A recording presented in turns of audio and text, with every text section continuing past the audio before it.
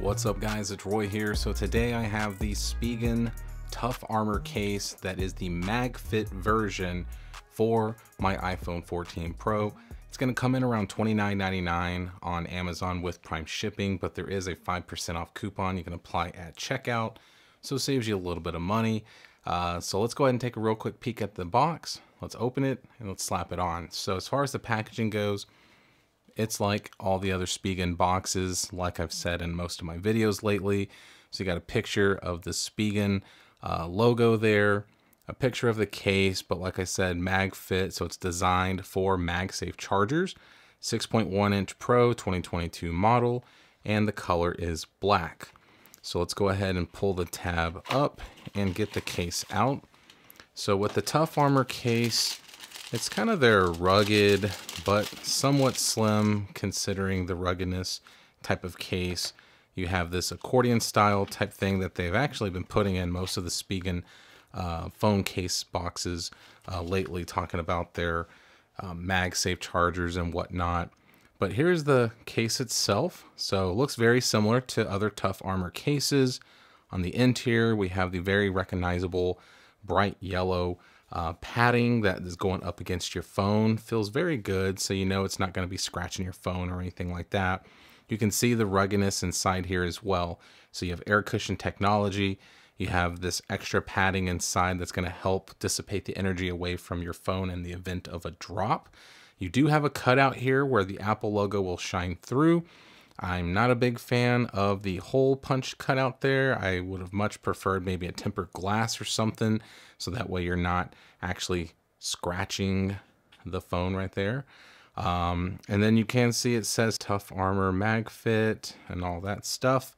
So let's get the bad boy put on. So I probably would say start with the left side and then just kind of push in like so and that's all she wrote. So there is the case installed. So as you can see, you kind of have some different tones of matte black and darker matte blacks right here. So has this um, nice to the touch uh, matte black material. You do, like I said, have that circular cutout so that way you are able to see the actual uh, logo. Now you are touching the real phone, so that is just something to think about. We do have a a Spigen kickstand that does match the uh, material as well.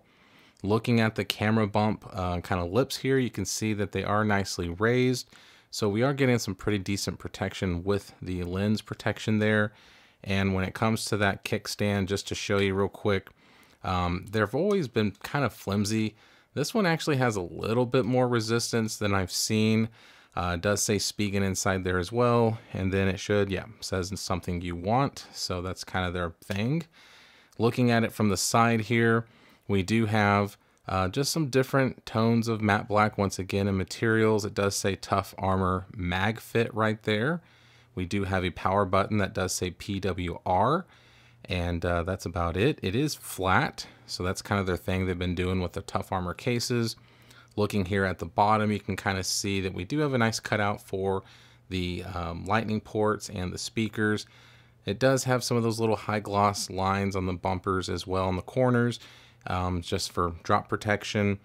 Looking here on the side, as you can see, kind of the same thing. So same material as the back.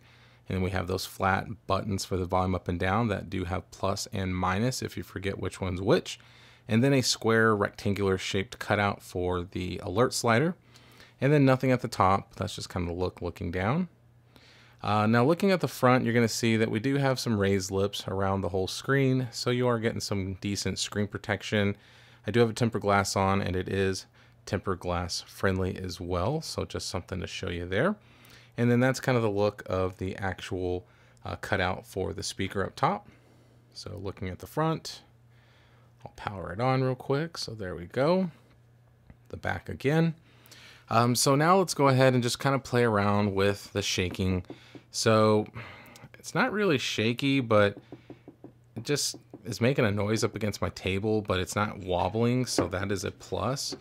And then when I do back down, um, there's a little bit of shaking going on, especially when you hit that corner. Most people aren't going to hit that corner when they are just sitting at their desk. But side to side, there still is a little bit of some shaking going on as well. So for a request from one of my subscribers, they asked if I maybe start throwing in the mix of like how much the case actually hugs the phone. Is there any movement, anything like that? And I can say this is actually very snug on it. I, I'm pulling, you know, in most cases, when you start to pull by the buttons, they're going to start to pull a little bit, but just all around, it is very snug up against the phone, so it ain't going anywhere. So now let's go ahead and do the clicky button tests and see how responsive these flat buttons are. So let's do the uh, power button first.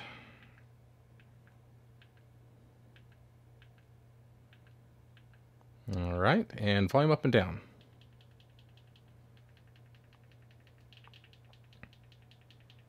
All right, so very, very tactile buttons. Absolutely, very responsive, very clicky. Absolutely love those buttons.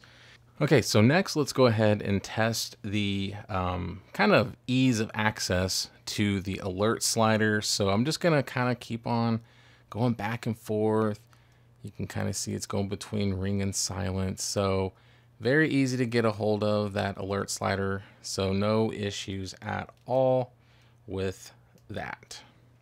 And then last but not least, let's grab my MagSafe charger here. Let's slap it on. As you can see, it is charging. I didn't get a MagSafe animation for some reason, which is really weird, but you saw the dynamic island show that it was charging. We'll try that again. All right, we got the sound, but we didn't get the animation again for some reason. So is what it is, but it is magnetically connected. It is MagSafe charging. Uh, the magnets are fairly strong. You know, it finds it. You can see there instantly. No issues. It will hold on, but a good little tug will make it fall off. Um, now, I will say that I have tried this actually um, in my vehicle just to see if it, you know, would hold onto like my MagSafe accessories in my car, and it does. Um, so even though I did technically unbox it in here, I put it all back in the box so that way I could share that experience with y'all. But yes, it will work in your vehicle just fine. So all in all, guys, this is a pretty good little case. I've always been a big fan of the Tough Armor cases. You know, you got a kickstand, which is cool. Um, so it's nice to be able to have that on your desk if you're watching a YouTube video or something like that. Um, so I like that. The fingerprints, there's not an issue with that, but of course there will be once you start touching the actual very reflective Apple logo there. Uh, and then smudges is going to be an issue.